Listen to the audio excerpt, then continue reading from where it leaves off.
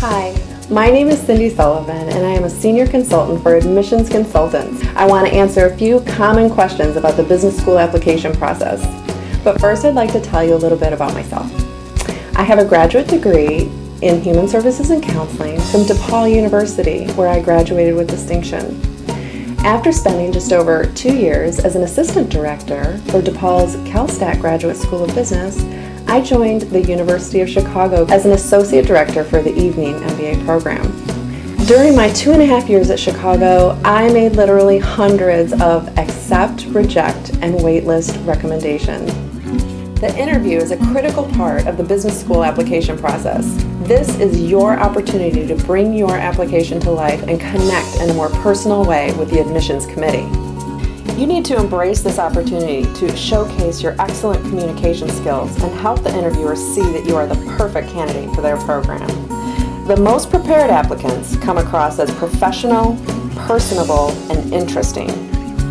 Interviews that are often squeezed into 30 minute blocks of time really expose your ability to articulate ideas clearly and concisely. Show evidence of your strong communication skills, intellectual curiosity, social skills, your self-confidence, teamwork success, work ethic, independence, and adaptability. You must demonstrate these qualities through clear examples. In my experience interviewing applicants, the superior interviewees remained undaunted and answered all questions concisely while providing examples and background to illustrate their responses.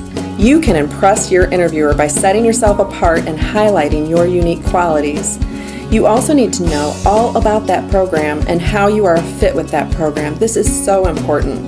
This level of preparation takes a lot of thoughtfulness and practice. I can't say enough how you need to practice, practice, practice. You can practice with friends and family, but most importantly, try to conduct a mock interview with a professional who can actually give you constructive feedback. The mock interview can help you highlight your strengths and address potential areas of concern.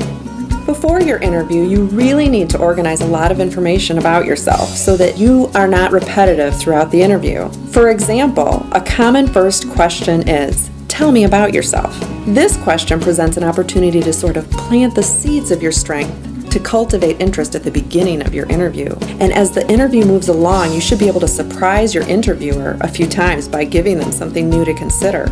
When answering questions like, describe your strengths, what are you passionate about? And how would your colleagues describe you? You have the opportunity to offer fresh and diverse aspects of your character. Whereas some people make the mistakes of sort of repeating their strengths over and over in response to these questions.